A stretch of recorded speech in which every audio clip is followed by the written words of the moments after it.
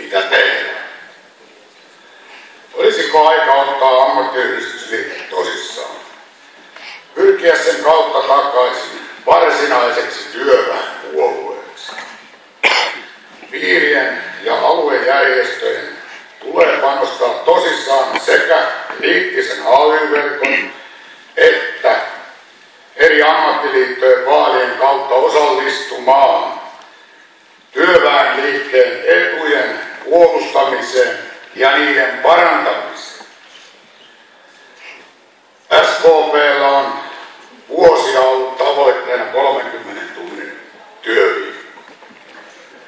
Nyt se pitää ottaa tosissaan uudelleen esiin. Kapitalistilla ei ole töitä suomalaisia, joten vallankumous pitää aloittaa itse.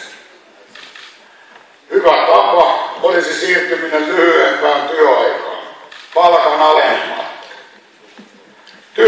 Pitää jakaa, jotta sitä riittää kaikille. Työnantajansa on poskettomia verohelpotuksia viime vuosina.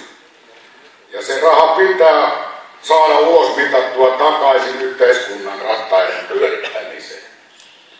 Ammattiyhdistysliike on paras tie ulosmittaamiseen. Ja uskon, että harva tavallinen työssäkäyvä ihminen sitä vastustaa. Se ei tapahdu vuodessa. Mutta vähitellen työaikaa lyhentämällä. Työajan lyhennys on myös sellainen palkanjatke, jota ei kapitalistinen inflaatio pysty syömään. SAK sopimat koulutuspäivät eivät sellaisia ole. Ja ne tulisi tuomita työväestön pettämisenä ja sopimusrikkomuksena.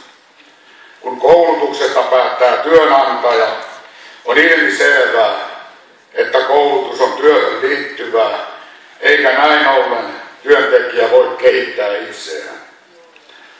Mikäli SAK olisi ollut se, mikäli SAKlla olisi ollut selkärankaa, niin koulutuspäivät, josta aluksi, aluksi sovittiin, olisi ollut oikein hyvä päänavaus 30 tunnin työviikolla. Voisikin ottaa tavoitteeksi 30 tunnin työviikon 2020 vuoden loppuun mennessä, jolloin vuosittainen työajan lyhennys on häviävän pieni. Se on pienempi kuin meillä on vuosittainen inflaatio. Tavoitellaanhan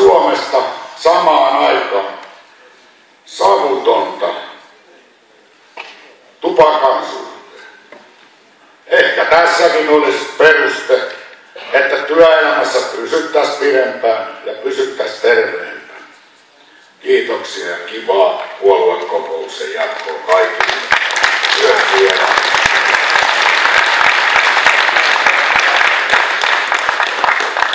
Kiitos Erkki Susi seuraavaksi ja valmistautuu Peter Työttelä.